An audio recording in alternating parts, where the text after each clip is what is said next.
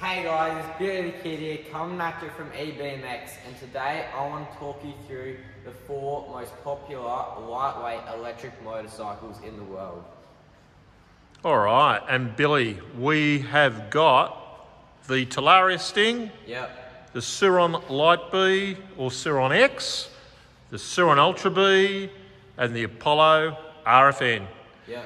Now, why did we choose these four particular motos, mate? Well, they're the most popular and also they're the most accessible. Yeah, exactly. So they all come out of China. Most people will be familiar with the Sur-Ron factory, which I guess started this whole lightweight electric craze maybe five years ago. And they make the Sur-Ron Light B and the new Sur-Ron Ultra B. And also in the back here, we've got the Sur-Ron Storm B, but that didn't qualify as a lightweight electric motorcycle, did it? How much does that one weigh? About 120 kilos. 120 or 127 kilos. Yeah, so that is not a lightweight electric motor.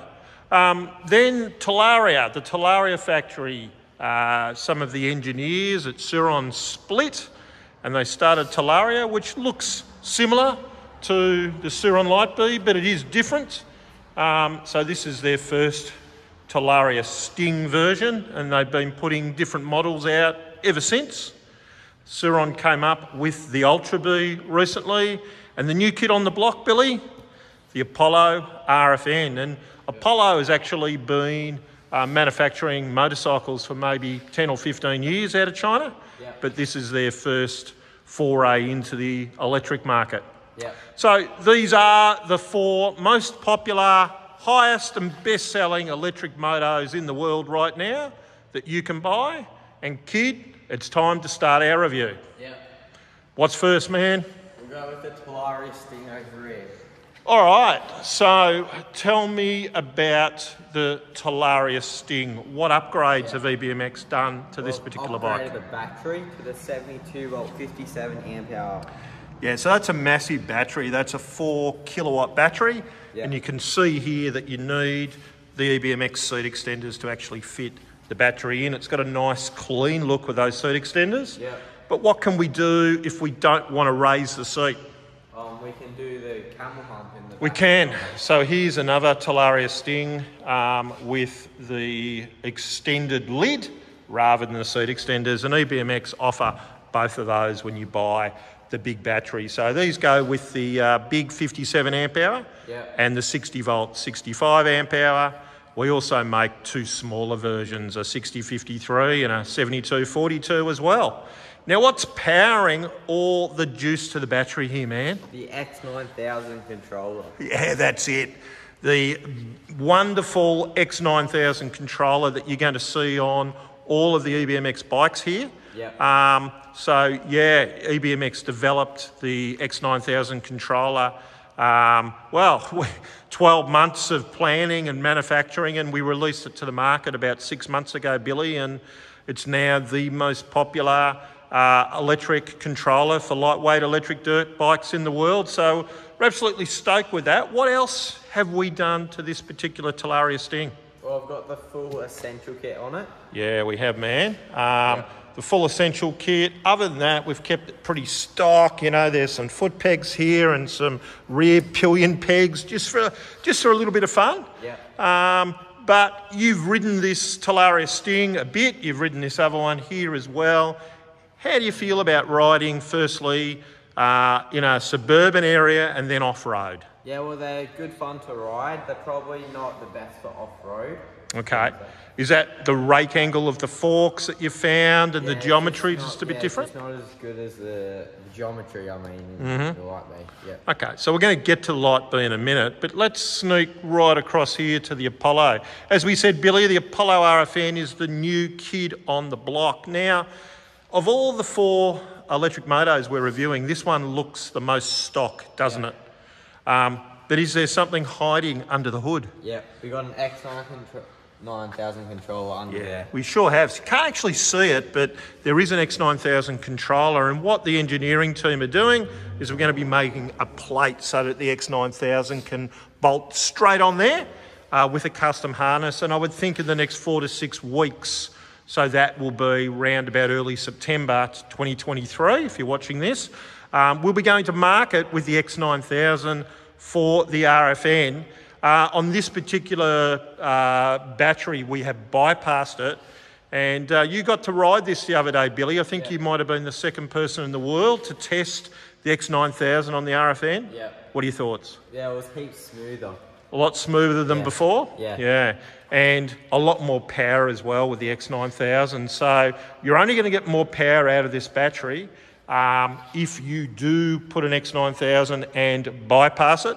Uh, of course, EBMX have got an RFN battery coming to the market as well. Yeah. Yep. So round about the same time, early September, we will have an offering to the market for a full performance upgrade for an RFN. So uh, yeah, hang on for that one, guys.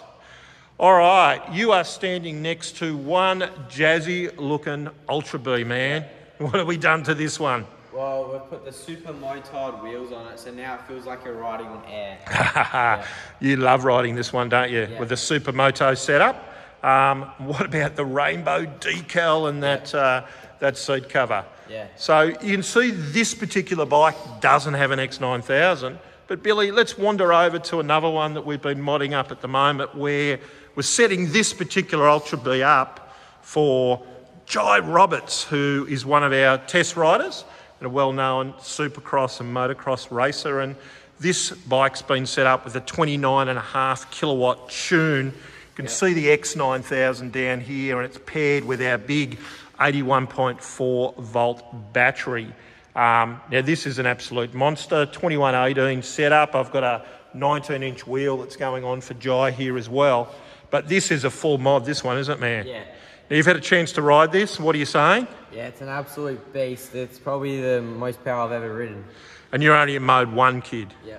It goes right up to uh, mode three. So EBMX sell these Ultra B uh, 2118 wheel sets with or without tyres, foot pegs, kickstands, decals, and the new Ultra B motor coming as well, Billy. Yep. We call that the XUB80.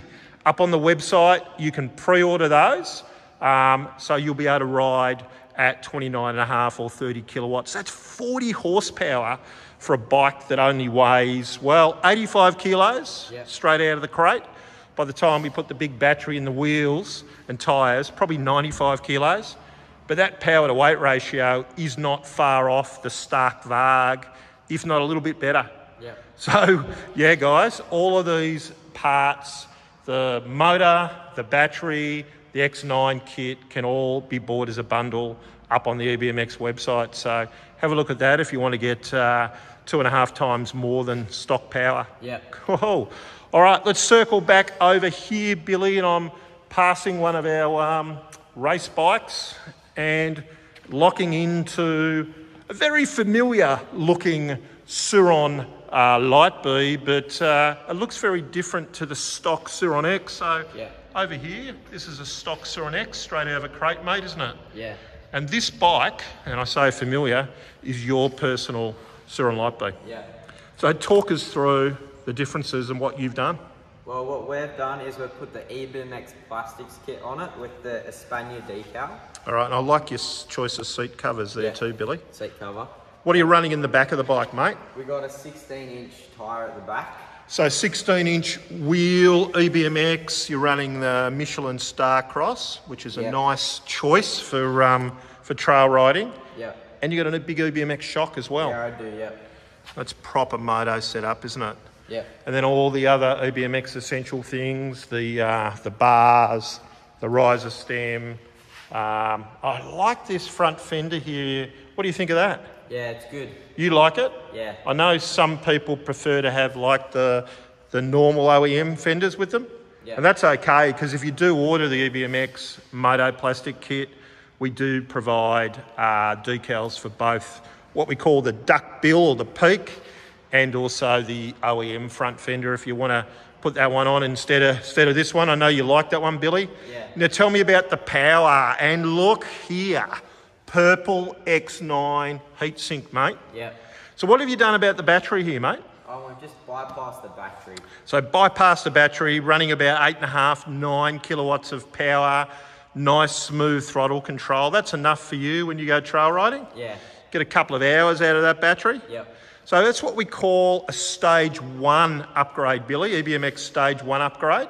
But what about the stage two, mate?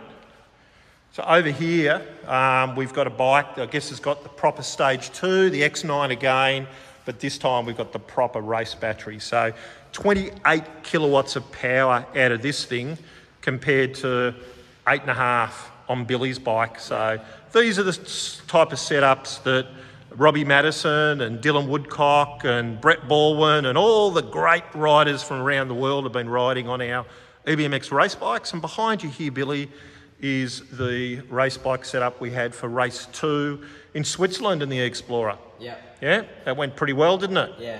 And what about race three? Where's that, mate? It's in France. It is in about three weeks' time. Um, so we can't wait for that because we're going to have the new EBMX motors, the XLB60s, in our race bikes. Yep. So that's going to be fantastic. Let's summarise for viewers the four bikes that we've looked at today. Yep. What are your thoughts, mate? Well, they're all really good lightweight bikes, but my favourite has got to be the Sur-Ron Light B.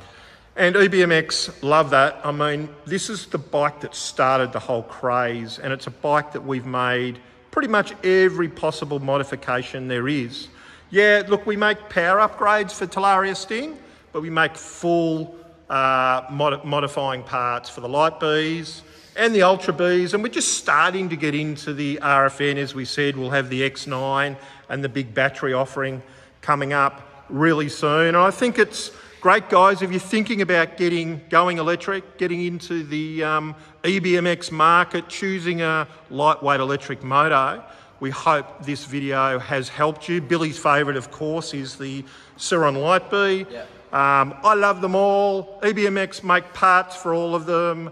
As we say in the classics, Billy, ride fast And don't die. and always wear a helmet and have a smile on your face. An electric and EBMX power is going to put a smile on your face, baby. Yep. Cheers, guys.